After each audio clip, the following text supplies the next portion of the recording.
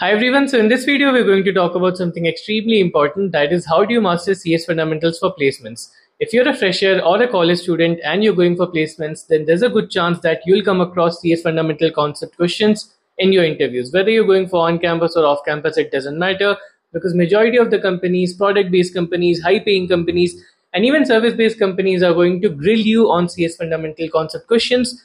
And if you're not able to answer there, then that can lead to your rejection. So CS fundamentals is something that you must give proper attention to. And I don't think this is talked about enough because people talk about DSA, people talk about development, but people don't talk enough about CS fundamentals. But this is equally important, especially if you're a fresher, a new grad, or even a college student who are just about to enter your placement. So it is essential that you give this proper amount of time and attention. So in this video, we're going to talk about the important topics in CS fundamentals. I'm going to tell you where you can learn them from I'm going to tell you how to learn them, what is the right way to learn them quickly. And the best part, I'm going to tell you before the interviews, how do you prepare specifically for the interviews. So if you have your interview next week or three days after, how do you prepare for that right now as quick as possible? Okay, so everything about CS fundamentals is going to be within the video. So make sure that you have some patience, sit back, relax, and watch the complete video. All right. So before we go into the further part of the video, let me tell you that CS fundamentals has different division, of course you have different subjects you have things like oop operating system computer networks and dbms so of course there's a different priority. Even though people say all are important all are important but again it depends company to company. It depends which role you're going for. So there are a lot of factors to this. But if you're going for a general software developer role then this is the order of priority that i want you to take. I want you to learn everything. I don't want you to skip anything. But this is the order of priority i want you to take. See the highest priority goes to OOP, according to me, because if you go for any company's interview, they are going to ask you OOP and their four pillars. Okay, because of course most of the languages that we're using right now in industry level, on an industrial level, they are object oriented. So OOP is something that you absolutely must know as a software engineer, even if it is not too much in depth. At least at a good level, at least at the base level, you absolutely must know it. Let's get real for a moment. The job market is changing, and if your resume is not having real world projects with AI in it, then it is already getting filtered out. So, is your current plan enough to beat the competition and land your dream job as a data analyst or a data scientist in your dream company? If not, then Internshala's data science placement course with AI can surely help you out. This is going to be a six months extensive training with live classes and on demand sessions in which you will be learning everything that is needed by you to crack the top companies as a data analyst or a data scientist, along with which you'll be learning the latest AI tools, which will give you an edge because, as you already know, almost every company are now demanding AI skills. And on top of this, this is going to be a project based learning. So, you're going to be building real world industry grade projects like customer sentiment analysis or social media branding analytics and many, many more. And along with the course, you will be getting industry recognized certificates by Internshala and NSDC Skills India that you can add to your resume to increase its value and to make yourself stand out. And you're gonna get a placement bootcamp in which they'll be teaching you everything about how to clear the interviews. You're gonna get training on soft skills, on how to make the right resume. You'll be having AI driven mock interviews. You'll have data science interview simulations and on top of this, you'll have access to the top brands and top companies hiring exclusively on Internshala. So you'll be getting all of this as part of the course, which can land your dream job as a data analyst or a data scientist. Many learners, thousands of learners have used Internshala to get to their dream job, and you can as well. I've given a link in the description box. You can use that, check it out. And now let's get back to the video. Okay, so OP is priority number one. After OP, you have DBMS. So again, DBMS is extremely important, especially if you're going for a backend role. If you're a backend developer, if you're an aspiring backend developer, there's no way that they will not expect you to know DBMS. So DBMS is again very important, but it's more important if you're specifically targeting backend roles. After that, you have operating system. So even the operating systems may not be of direct use in the work that you do in these companies, but of course, the concepts of OS are going to be very important. Okay, so again, OS is also very important, but it depends company to company. There are companies that ask a lot of OS and there are companies that don't ask OS. And then at last, we have computer networks. Why did I keep CN at last? Because this is very specific to company. If you're going for Cisco, if you're going for Arista networks, if you're going for Palo Alto networks, if you're going for VMware, if you're going specifically for companies that dabble with networking, that are sort of networking companies or work in networking, then 110% they are going to ask you computer networks. But for general companies, there's very less chance that they will ask you CN question. Okay. So this is the order of priority, but again, everything is very dependable on the company that you're going for. Again, we're going to talk about this more in the last part of the video that is preparing for the interviews. All right, now we know the subjects. Let's talk about how do you prepare for it and what are the important topics. Let's start with OP itself because we gave it the highest priority. Okay, so first of all, for the most important topics, I'll do two things. First, I'll give you guys a list of important topics in the description box. So these are the most commonly asked topics in the interview. So you can take a look at that from there.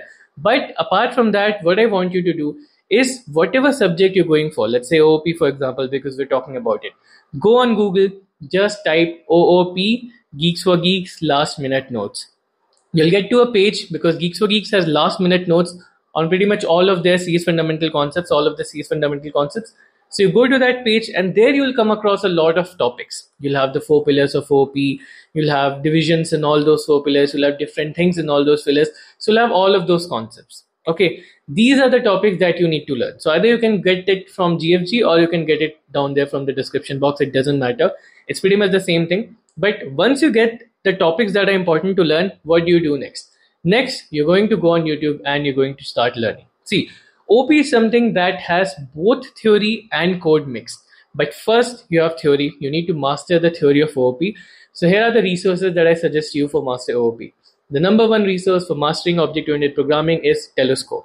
So you can go on Telusko's channel, and by the way, all of the resources along with the important topics are going to be in the description box. So you need to you don't need to take notes or anything. Okay. So you just go to Telusko and you start watching the OP playlist. He has a playlist on OP, and there you'll get to learn everything okay? Op you don't need to go too much in depth. If you already are using object oriented programming language like java most of the things you'll already know.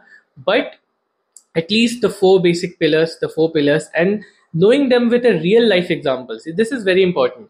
I recently took a mock interview and i asked the guy to explain the four pillars of object oriented programming and he just gave a very bookish definition of it.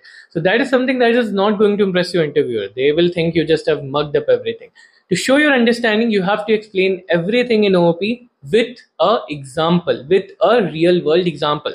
For example abstraction you can explain with the with the braking example that you use the brake you don't know what is behind it in the implementation but you know that it's working and you know what work it will do right? Something like that. So i'm digressing a lot here i know but this is the way that i want you to study for it okay? So op is the simplest of them all pretty much. That's why i kept it in first also. Obviously it is the highest priority also but it is the simplest of them all all you need to do is go on YouTube, watch videos according to the topics that I've mentioned that are there in the description box or that are there in the last minute notes. Watch videos and make notes.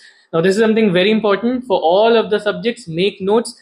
What I'm going to ask you to do is just have one notebook. You know, there's notebook which has four division. Buy a notebook like that and make notes. One side for OS, one side for CN, one side for DBMS, one side for OOP. Okay. So make notes of whatever videos you're watching. These are the notes that will help you before the interview because before the interviews, you won't have enough time to go through all of the videos. Okay. So that's all you need to do for OP. Of course, you have the most important topics given in the description box. Go to YouTube, start watching them. Once you watch them, then of course you have a little bit of code. If you're coding in Java, whatever language you're coding in, just try to implement it. It's not that difficult, and most probably you'll not be asked to code. Now, there's one more thing here, which is kind of new. So along with OP, now you have low level design as well, which was previously not the case. But right now, a lot of companies are asking for low level design. They may not ask you in basically on campus placements, but off campus placements, there is a good chance if you go for a high paying company, they'll ask you LLD. So now along with OP, you have LLD as well. So in LLD, you have basic things, you have some solid principles, you have some design principles, you have all of these things that I want you to have a basic idea of. So for this, the best channel is Concept and Coding. So he has a great playlist on LLD basically. I'll give a link to that as well. You can give it a watch, but you don't need to go too much deep into it. The first 15 to 17 videos is what I will suggest for you to watch from his playlist. Okay. By the time you watch the first 15 or 17 videos, you'll have a good idea about what LLD is, and most probably you'll not face this. But OP 110% you are going to face. Okay. Now that OP is done, let's go to our next part that is DBMS. Now, DBMS is pretty much the most complex out of these CS fundamentals, is what I feel, because you have again a mix of both. You have pretty much all of the theoretical things, and you have SQL, which is something that scares a lot of people, especially the complex things like joins and you have, you know, subqueries, you have all of those things, right? So it scares a lot of people, I know, but it is very important if you're going for a backend role or even if you're going for a full stack developer role, you can be expected to do SQL queries, right? So again, for DBMS, the most important topics, you can do either of two things. You can go to the last minute notes of Geeks for Geeks, or you can have a look at the description box. Find the most important topics. For theory, this is what you need to do. You can just go on YouTube and start watching videos. For DBMS, the best videos are there by Gate Smashers. Gate Smashers is pretty much the king of CS fundamentals, especially for OS, DBMS, and even CN, some of the videos. But for DBMS and OP, Gate Smashers is pretty much the king we all have watched his videos to pass our CS exams, right? Because before the exam, I remember everyone used to watch his videos. So for theoretical knowledge, you can watch Gate Smashers videos, and then there's a few more channels also. I'm not remembering the name, but I'll give you the resources in the description box. You can use them to learn the theoretical things. Now, more than theoretical things, what I feel is more important is SQL.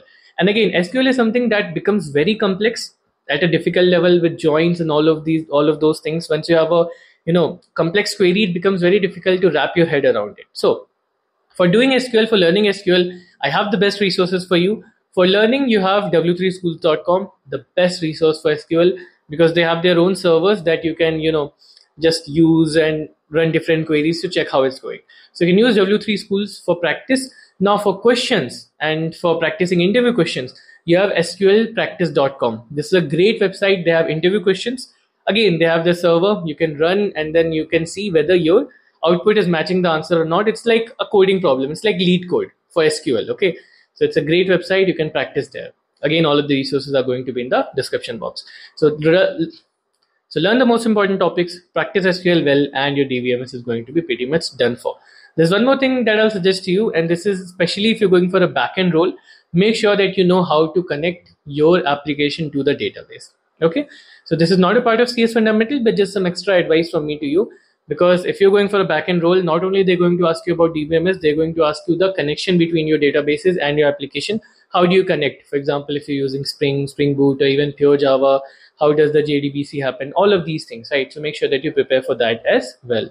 All right now that we've passed op and we've passed dbms now we come into operating systems. So again, like I said, operating systems is something that is very important depending on the company you're going for. From the top of my head, VMware is a company that will ask you a lot of operating system questions. So again, this is something that you must focus on. But operating system is not that much important, but don't skip it. But it is not that much important compared to the previous two subjects. Now, for operating systems, you have a lot of theory. You have majority theory only, and then you have very little implementation most of it is theoretical thing unless you're going for a company that is very much into os they'll they're not going to ask you the implementation of it okay? So operating system is pretty much all about theory. You're to have to spend some time you're to have to watch some videos and you're to have to take a lot of notes for operating system. So again the important topics they're in the description box or on geeks for geeks class notes. You can pretty much you know go there and take the important reads take the important topics. Once you know the important topics again the same thing like dbms go on youtube go on Gate Smashers playlist and start watching the videos. Now, there are a few things that are very important here in OS. Like you have uh, algorithms, you have some scheduling algorithms, you have deadlock, you have uh, roundtable algorithm, you have a lot of algorithms. Most of them I don't even remember because I learned them way back, right? But all of these are interesting. But again, you're not you're not gonna be doing implementations of it. So it's more on a theoretical level or a practical level, pseudocode level, so to speak, right? So you can learn all of them. It is interesting, even though there's a lot of theory, the algorithms part of it, the scheduling part of it, the deadlock part of it, all of these things are pretty interesting, right? So Gate Smashers has great videos on all of those things. Whatever topics are there in the description box, go to Gate Smashers videos and start watching it. Okay, this is something that you can easily do, but again, it's gonna take a lot of time to understand everything because most of it is just theoretical things that you have to understand okay? So os is not going to hurt you that much it's going to take a bit of time but it's not going to be that much difficult to do. After os you have computer networks. Computer networks again is not that important unless you're going for a company that is specifically into networking like i already told you. So you have companies like cisco and all. Cisco is the first thing that comes to mind because they have a heavy pay. They have 27 to 30 lpa plus for a fresher and of course you'll have cn questions there. So again for cn most important topics are in the description box again cn is just a bunch of theory you have of course you have topics. You have uh, you know layers of osi you have subnetting you have all these things. So you can learn all of them. So again you have gate smashers and there's other resources for cn as well. So apart from gate smashers there's some good videos from other channels as well for computer network. So i'll give you the resources. You can watch that and again make notes. Do not forget to make notes guys. These are the notes that are going to help you in your placements okay? See if you have notes from your classes well and good but if you don't you have to make your own notes that are there from your own understanding. Because before the interview you won't have enough time to sit and you know go through all of the videos all over again okay? So now we're done with all of the preparation. You have your notes ready. Now you're going for the interview. What are you going to do? See the first thing that i want to tell you is i want to take some of the steam off you.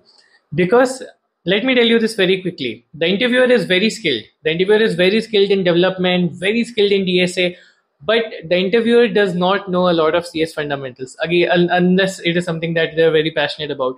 Because CS fundamentals is not something that we're working on on a daily basis. Development, he'll be a master of. DSA, he'll be a master of. He or she, whoever is taking your interview. But CS fundamentals, a lot of the interviews that I have seen, they themselves do not know CS fundamentals that well. So this is what they do they go on Google, they search top interview questions for each of the topics, and these are the questions that they'll ask you.